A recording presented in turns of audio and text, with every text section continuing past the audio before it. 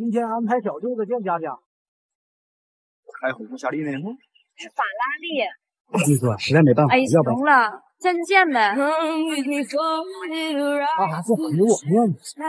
你小舅除了有钱少，还是个啥。他抛开这些之外，他还是个啥。越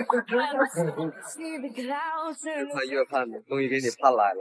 啊，我也很荣幸被你盼了，开一个法拉利。这个才是我的车。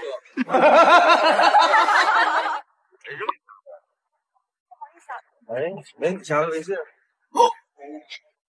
干什么玩意儿呢？干什么？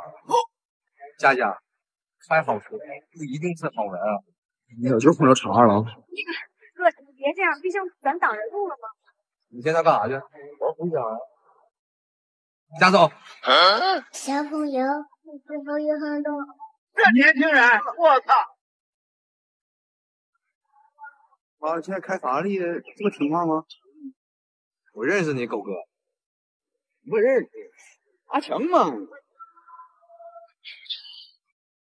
这什么跟我们公司地下车库不一样？你他妈能一样吗？你看人这停啥车？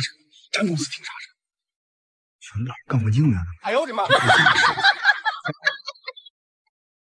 如果有一天我变得很有钱，我会想尽一切办法倒流时间。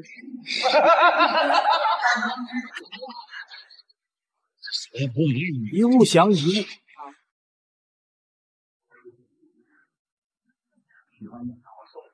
还根本不叫这个，给我敲响来。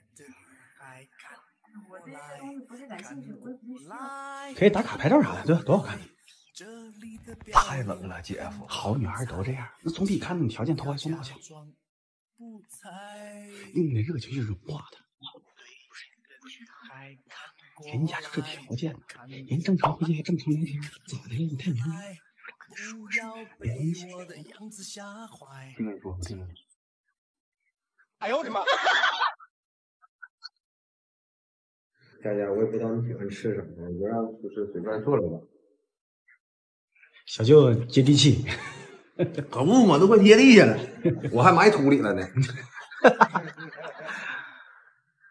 天哥，我觉得咱俩还是不太合适，别在我身上浪费时间了。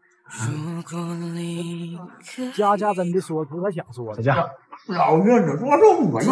还他妈委婉呢？你这都十第几晚了，还没开始就结束了。你生啥气呀？你这么大老爷们儿，小舅子，嗯，